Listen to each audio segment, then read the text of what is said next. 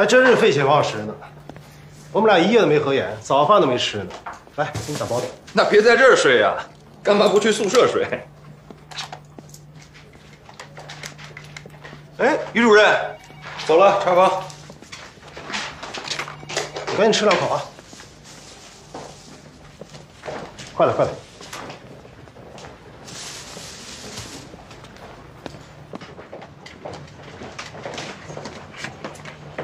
司令啊，哎，主任，哎那胆子也是真够大的啊！你想过没有，在昨天晚上的那样情况下，植入儿童临时心脏起搏器，成功的概率是多大呀？嗯，想过，不到百分之五十。什么？我说黄司令，你这胆儿也太大了吧！主任，没有先例，没有安全方案，这么鲁莽。这次没有出事儿，那是侥幸；如果出了事儿，那肯定是大事儿。你说话能不能声音小一点？主任，将来我们全科室，哦不，我们全院都会被他连累的。主任，但是情况紧急，我脑子里想的只有救人，其他责任问题真没想。你是对的，不论什么时候，救人都是第一位的。主任，把你这次的手术报告好好整理一下，然后到我的办公室里来一趟。下次院里的报告会，我希望你能讲一讲你的这个第一次。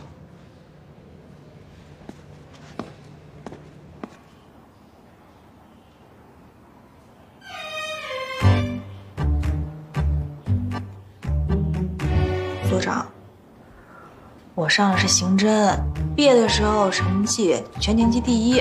您这让我去治安，这不浪费了吗？那也得服从工作需要啊。难道刑警队就不需要我吗？刚刚雪亮还说刑警队正缺人手呢。哎，那你什么时候让我去刑警队？只要你能把工作完成的出色，我就推荐你去分局刑警一言为定。那当然了，赶紧去组里报道吧。是，所长。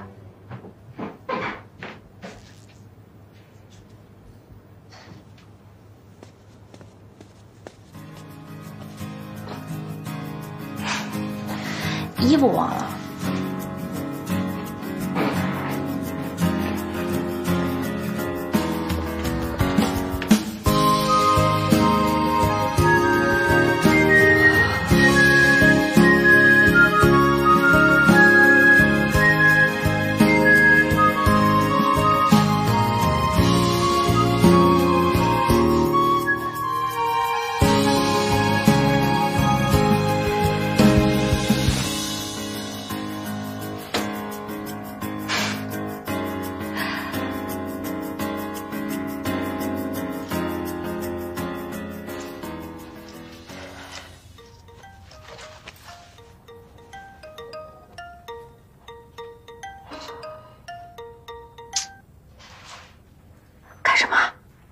天第一天上班，感觉怎么样啊？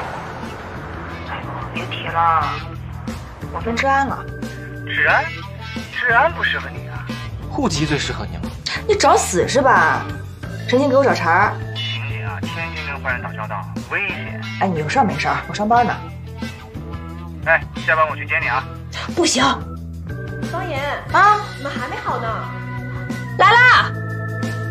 你听好了啊，不许来！哎，妍妍，